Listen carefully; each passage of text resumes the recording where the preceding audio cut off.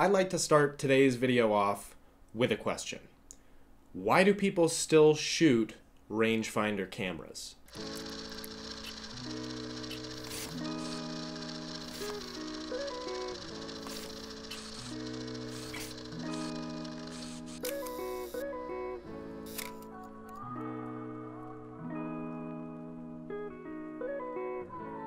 Some will argue that early rangefinder cameras still maintained an image quality kind of edge over SLR cameras because in in a rangefinder you don't have a mirror. You don't need to make space for a mirror. And because you don't need to make space for a mirror, you can bring the lens elements or the glass of the lens even closer to that actual focal field or that that image plane. And in this case that image plane is the film. Okay, yeah, I can I can buy that. Not having as much clutter in front of the film, bring that lens closer, closer lens, better image. Okay, yeah, that makes sense. Other people will lay claim that rangefinders are better because when you're taking an image, you don't have any blackout. And what blackout refers to is the very short period of time in an SLR camera when the mirror flips up so that the shutter can actually do its thing and you can expose the film. I don't know if I really buy this reason to shoot on rangefinder cameras. I mean, if the concept of not having any blackout is kind of like follow through on a golf swing, where you hold your swing after you've already hit the ball to really make sure that everything's perfect, then wouldn't you want to just be looking around and observing your surroundings directly? It seems like if that's what you're looking for, that just looking away from the viewfinder and looking around at your surroundings would be better anyways. And to say that you get a better perception through a rangefinder than you do through an SLR, I think would be wrong because in an SLR, you're looking right through the lens. You're literally seeing what the lens sees. Whereas on a rangefinder, you're never seeing what the lens sees. So what does it matter if there's no blackout if you're not actually perceiving what the lens is perceiving? However, there are two big arguments that I see some logic in for shooting on a rangefinder camera. Firstly, rangefinders are really compact and they're generally pretty durable. That makes them great for street photography and that also makes them great for travel when you are kind of tight on space and you need something that can take a beating. The second reason, and the reason I believe the Leica M3 is still so popular today, these cameras are ingenious pieces of industrial design.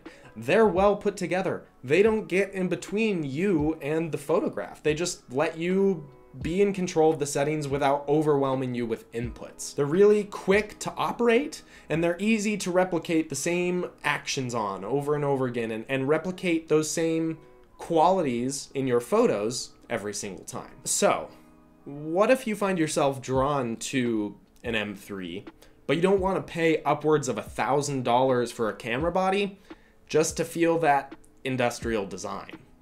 Well, cue the Canon P. Looks kind of familiar, doesn't it?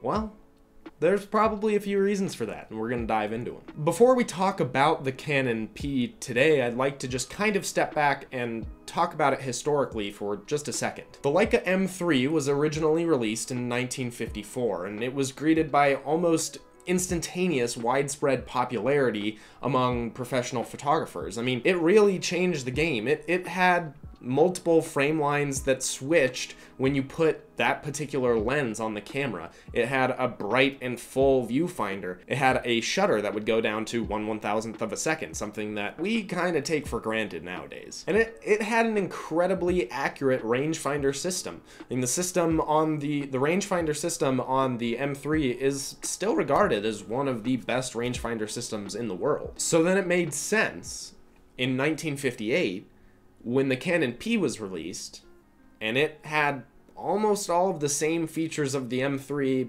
and more, that it was also really popular. The Canon P had a really bright and easy to use viewfinder with multiple frame lines, just like the M3. I mean, of course, they didn't do that cool trick where they switch the frame lines when you switch the lens. It was just set frame lines, but they're still very easy to use. It had the 1 1000th of a second shutter. It even had a couple of extra things, like 35 millimeter frame lines, which the M3 did not have. And so because of all of these features, because it was essentially a cheaper M3 with even more features, it was Canon's most popular rangefinder camera of all time. And not only that, it was one of the most popular rangefinders of all time. The Canon P had better sales figures overall than all of Nikon's rangefinder cameras combined. So it was a great camera back then, and it's still a great camera today. And yes, you might say that the Canon P is just a clone of the M3 with a few innovations to make it a little bit easier for just kind of the average everyday shooter to use this camera. The rewind toggle is a knurled ring that's integrated with the shutter button. It's almost impossible to toggle on accident. The frame counter is easy to read and it resets every time you open the film back. The full back film door made it really, really easy to load film. The rewind lever is cleverly recessed into the top plate of the camera to maintain the really clean lines, the aesthetically pleasing lines of the camera. I mean, honestly, it was like Leica was consulting with Canon on every step of the way for the Canon P, and I love it. And the best part about this camera is that it's it's pretty cheap. I mean, cheap's all relative, right? It's it's kind of in the eyes of the beholder on that one. But in comparison to its nearest competition, which in my humble and probably misguided opinion would be the M3, you're getting quite a steal of a deal on the Canon P. You can find these bodies for $100 or $150 and yes they might have a few issues and you might have to spend just a little bit more than that to get a mint one. But heck you could spend under $300 and get this whole setup a, a body and a lens to go out and shoot with. And yes it does. I mean i don't have one here to show you but but I can tell you that it does feel a lot like an M3. I mean, if you're pining after an M3 for its beautiful design, its simple functionality, and its great compactness, well, you might consider this alternative. I think your wallet would probably thank me. And if you're anything like me, I think you'll fall in love with the Canon P, just like I did. And that's a wrap, folks. We're doing it. That's we're doing it live. That's all I got. Um, worked out well.